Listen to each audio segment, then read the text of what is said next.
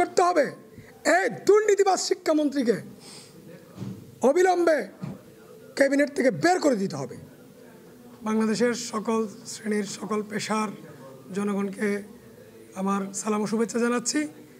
এখন আজকের খুব গুরুত্বপূর্ণ বিষয় যেটা দেখলাম, যে শিক্ষামন্ত্রী শিক্ষামন্ত্রী নিয়ে, শিক্ষামন্ত্রীকে নিয়ে একটা রিপোর্ট হয়েছে।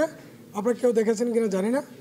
যে ভোরের পাতা একটা নিউজ করছে, শিরোনাম হচ্ছে, দীপুমণি পরিবারের বিরুদ্ধে সরকারের সাড়ে তিনশো কোটি টাকার দুর্নীতি অনিয়মের অভিযোগ।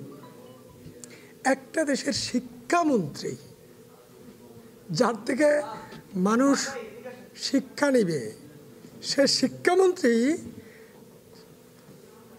চাঁদপুরের প্রযুক্তি বিশ্ববিদ্যালয়কে কেন্দ্র করে সাড়ে তিনশো কোটি টাকার দুর্নীতি করেছেন।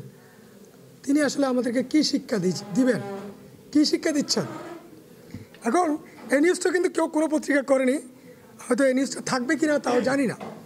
তবে এই যে কুশিক্ষামন্ত্রী ডাক্তার দিভুমণি উনি যখন পররাষ্ট্রমন্ত্রী ছিলেন, তখন ওনার বিরুদ্ধে সারা বিশ্ব ভ্রমণের বাংলাদেশের জনগণের টাকা দিয়ে সারা বিশ্ব ভ্রমণের, প্রমোদ ভবনের অভিযোগ ছিল।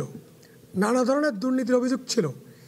যেই মন্ত্রী একটা গুরুত্ব সবচেয়ে গুরুত্বপূর্ণ মন্ত্রণালয়ে তার কৃতিত্ব হাজির করতে পারেনি, জনগণের পক্ষে কাজ করেনি, করতে পারেনি, সেই পররাষ্ট্রমন্ত্রীকে শেখ হাসিনা এবারে ভোট ডাকাতের সংসদে শিক্ষামন্ত্রী বানিয়ে দিল।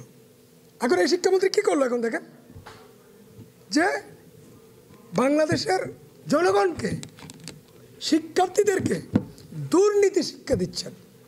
তাহলে বাংলাদেশে একটা দুর্নীতি শিক্ষা বিষয়ক একটা মন্ত্রণালয় করা হোক। সেই মন্ত্রণালয়ের মন্ত্রী হিসেবে ডক্টর দীপুমণিরে মণিকে পদায়ন করা হোক, এটা হচ্ছে জনগণের দাবি।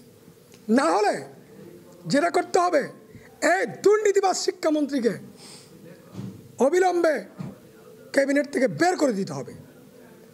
অভিযোগটা করেছেন কে দেখেন? যে এটা কিন্তু স্বাভাবিক কোনো অভিযোগ না। চাঁদপুর জেলা প্রশাসক ও জেলা ম্যাজিস্ট্রেট অঞ্জনা খান মজলিস শিক্ষামন্ত্রীর পরিবারের বিরুদ্ধে, শিক্ষামন্ত্রীর বিরুদ্ধে এই অভিযোগটা এই দায়ের করেছেন ভূমি মন্ত্রণালয়ে এখন ওই ইয়া, চাঁদপুর বিজ্ঞান ও প্রযুক্তি বিশ্ববিদ্যালয়ের জমি অধিগ্রহণকে কেন্দ্র করে সে এই দুর্নীতিটা করেছে। যাই হোক এখন কথা হলো শিক্ষা হচ্ছে একটা সেবা। বাংলাদেশের প্রত্যেকটা সেবা খাতগুলো যেগুলো আমাদের বাংলাদেশের জনগণ অর্জন করেছে বিগত পঞ্চাশ বছর ধরে প্রত্যেকটা সেবা খাতগুলো আওয়ামী লীগের কুলাঙ্গার নেতা মন্ত্রীরা ধ্বংস করে দিয়েছে।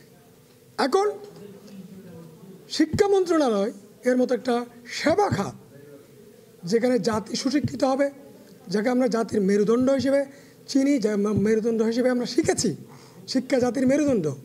তো এখন দেখা যাচ্ছে এই ধরনের দুর্নীতিবাজ দিভুমণিদের মতো শিক্ষামন্ত্রী শিক্ষা জাতির মৃত্যুদণ্ডে রূপান্তরিত করেছে।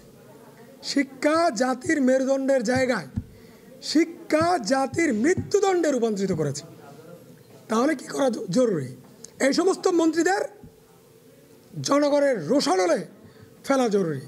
এই সমস্ত মন্ত্রীদের গণ বিস্ফোরণের মাধ্যমে, গণ অভ্যুত্থানের মাধ্যমে, গণ আন্দোলনের মাধ্যমে বাংলাদেশ থেকে তাড়ানো খুবই জরুরি হয়ে পড়ছে এবং তাদেরকে আজীবন জেলের ভিতরে ভরে দেওয়ার জন্য,